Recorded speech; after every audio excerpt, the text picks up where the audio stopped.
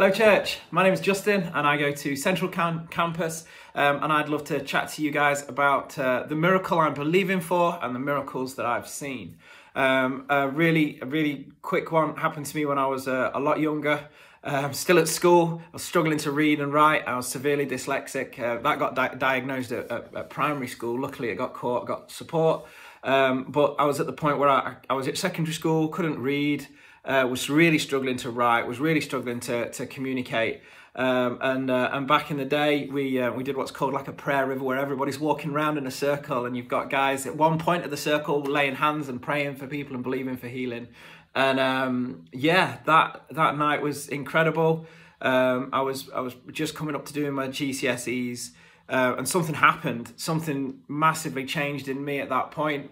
Um, whether it was related to confidence, whether it was related to um, the, the innermost parts of me um, being being touched by the Holy Spirit, and then actually being able to read, actually being able to make notes that people could understand.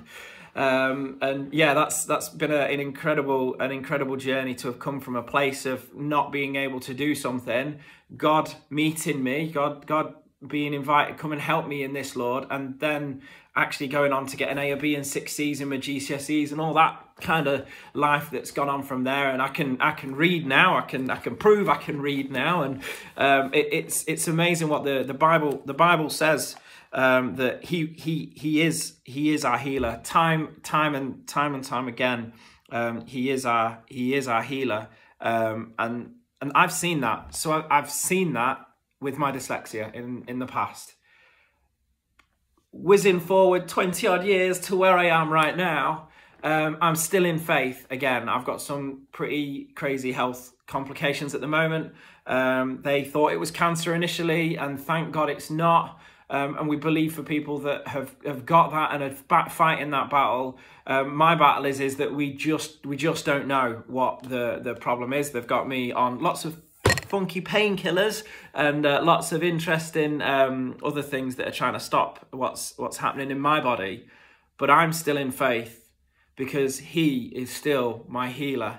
His His word will will complete all that it's sent out to do, and I am not destined to live in pain and in suffering, and I'm not destined to live with my dyslexia. That that that God has proved that back in the day. God has met me there. God has changed my life there, and He will do it again. If you're sat right now, if you're on your way to work, whatever you're doing, I believe that He is our healer. He heals today. He's healed us in the past. He will heal us tomorrow. He, we can continually go to Him in prayer with our needs and, and cry out for healing and believe for healing.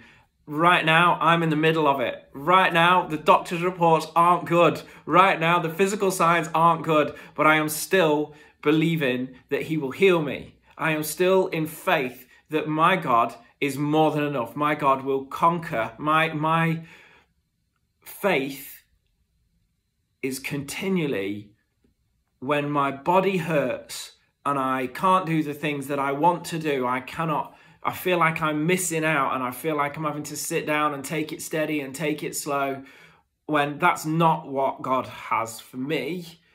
And that's not what God has for you is to live in that place, to be able to be in this situation that I'm in and to be able to live here and, and call it a successful sickness um, would be to stay in faith and continue to believe. Father God, I bring all of Audacious people to you right now and anybody else watching this devotional. And we thank you that you are our healer. You took upon you you you took our um, iniquity, sin, and shame on the cross. You've taken You've taken that all from us. Right now, Jesus, we bring the things that are inside us, the things that hurt us, our, our health and our sicknesses, our mental, our mental health, and we lay it at the foot of your cross. As you've said, it is finished. We say that over our sickness and the things that are holding us down. And we thank you, Jesus, that you will heal us. You will come through in all the different ways that you do for us. Jesus, we love you. It is an honor to serve you. Thank you for what you're about to do in us and in our nations and in our families. Hey, church, have a great day.